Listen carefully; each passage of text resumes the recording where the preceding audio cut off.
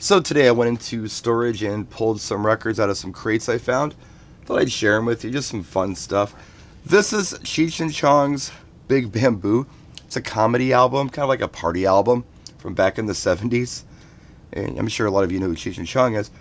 But, you know, in records back in the old days, you sometimes got little surprises inside of the gatefold or inside of the liner notes. In this case, they were kind enough to give you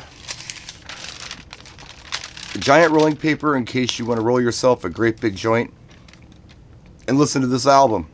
How kind of them, right? Most of the time when I see this record in a crate dig, the rolling paper is missing because, well, somebody used it. But not in this case. Still intact, so I grabbed the record. Survivor Vital Signs. I think I've talked about this record before and I think it's really underrated. It's a good record. The, the, hits on here were "The Search Is Over," which is a ballad, and "I Can't Hold Back," which is not my favorite song. But there are album tracks on here like "Broken Promises" and "Popular Girl" that I really, really like. So I think this is worth a listen. If you find it in the bargain bin, bring it home and give it a listen. It's pretty good. Level 42. I think in the U.S. we only got two hits from them, but they've got some great music that they were hearing in Europe. This is Running in the Family. This one has Lessons in Love on it, but it's got some other really cool tracks too. I don't think I've ever seen this on another crate dig. I found it one time and grabbed it up. It's a good one. Now, I'm not a Rod Stewart mega fan, but I do have some Rod Stewart. I just grabbed it out of storage. I'm missing a couple, like the Body Talk album. I want to get that one because it's got, um, what's that one track I really like? Oh, Baby Jane. I don't have that one, but you know, I've got all these and they're pretty good. Just something to put on the shelf. That one's a promo. See that?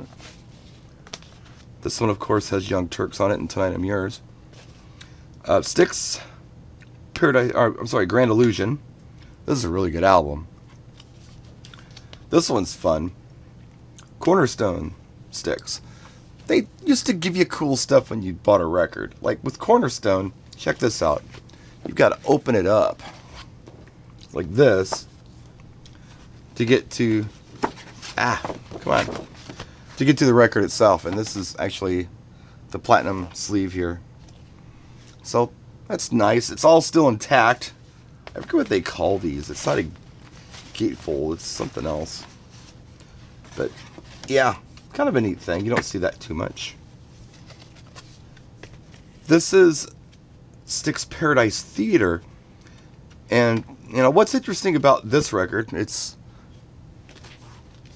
like that, the gatefold, but let's see if I can show you this. This record does have some smudge on it, but it's not too bad a shape. I don't know if you can see this or not, but if you look at it in the light, you can see that it's laser etched. It says Styx on it and has some cool ornate stuff. I don't know if you can see it very well here or not. So I'm showing you. But I don't know. It's kind of neat. You don't see this kind of stuff all the time. Once in a while, you'd actually see this on CDs, but I thought it was kind of unusual to have it here on a record. If you can't see it, I apologize. Um, I'll put this away proper later. Of course, Pink Floyd Dark Side of the Moon. I've got a German copy of this. This is a pretty beat up American copy. I also have Pink Floyd, the final cut which I, I guess this was supposed to be like the wall part two or something. I don't know. Got Supertramp, even in the quietest moments, which is a great song. This is my Supertramp album right here, Breakfast in America, with the logical song on it, and Take the Long Way Home. A lot of great tracks on, on this album right here, Breakfast in America. And uh, this one, Brother, where Are You Bound? There's not a whole lot on here that just blows my mind. I think it had It's Raining Again and Cannonball on it. But yeah, you know what I paid for it a quarter way back in the day? Winner. Face Value, Phil Collins. This is an important album. This is In the Air Tonight. This is, I think, is it Missed Again or No Reply at All on here? Let's see. In the Air Tonight. Oh yeah, Missed Again. That's a great song. It's got good stuff. Those are the two big ones that I like on this one. Scorpions, Love at First Sting. Of course, Rock You Like a Hurricane's on here. I saw this concert, and I bought this album new. So this is an original. I didn't buy it on Crate Dig. I went to the record store and bought the record brand new when it came out. Billy Squier. Don't Say No. Good album. I don't know if this is unusual or not. It seems to me like I remember the Open Up and Say Ah album from Poison had like bars here where you could only see the eyes or bars down here because like I don't know, the tongue was something that they got complaints about at record stores. Seems like the full picture here wasn't on the CD or the tape. This might be an early version of this. I don't know. Maybe you know something about this. I haven't looked it up, but I remember seeing this and thinking, well, that's unusual. So, anyway, yeah, this. Not my favorite band, but kind of a cool record. Rush 2112. What can you say about this? This is really good. It's got the overture on it. Um, a lot of cool stuff on this. This whole album is, is just good just to listen to. Good album. Let's put on and relax. Of course, ACDC Back in Black. This is a, another beat up copy. I have nothing but beat up copies of this. But I also have a copy here, the really nice copy actually, of ACDC Dirty Deeds Done Dirt Cheap, which I like this album better anyway. It's the old Bon Scott stuff. Accept Metal Heart. Yeah, you guys are like, dude, where's all the freestyle? Yeah, I used to be into this stuff too. I bought this one new. I really liked it. Uh, the song Metal Heart on here is pretty cool. Iron Maiden, Live After Death. Yeah, I went through an Iron Maiden phase. Didn't last too long, but I did pick this up. I remember buying it at the record store at the mall or whatever. Terence Trent D'Arby introducing the Hardline. I know I have a copy of this on the shelf, but this one was interesting. The texture on the sleeve itself is different than anything else. I don't know. I got to check in Discogs and check the catalog number to see if it's unique, but I've never seen it like this before. It's kind of cool.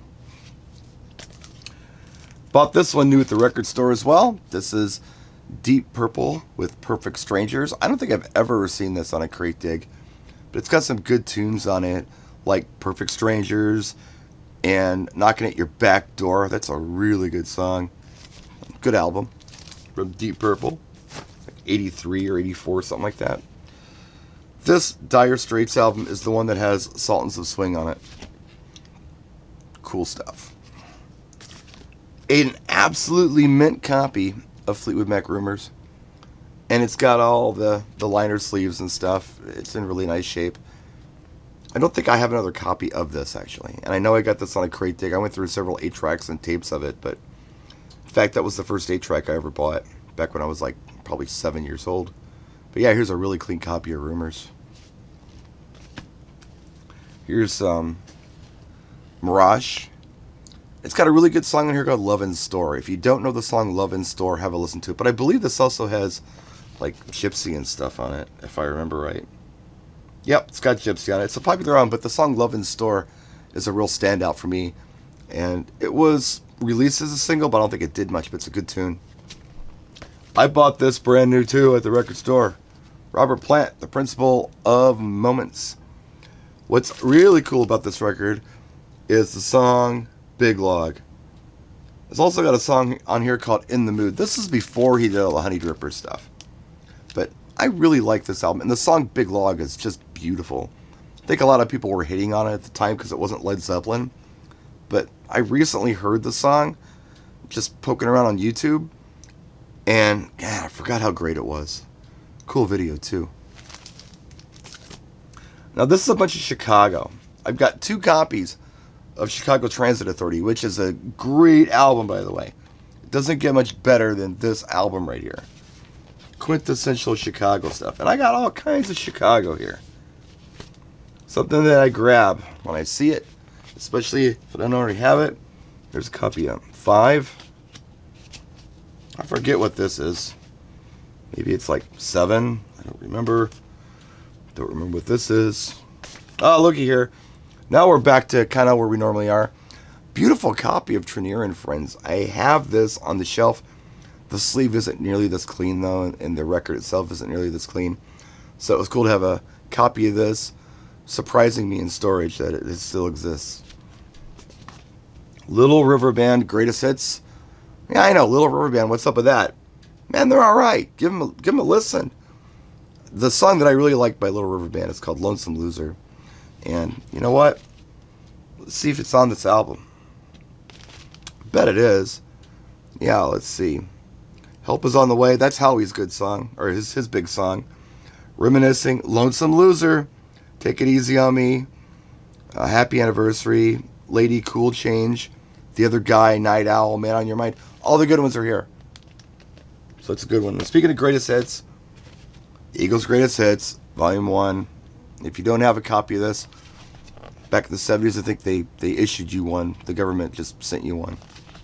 But that's it. Some records in the, I don't know, long term storage that I pulled out today. Thought I'd just share with you. That's it. We'll see you next time. Practice and enjoy.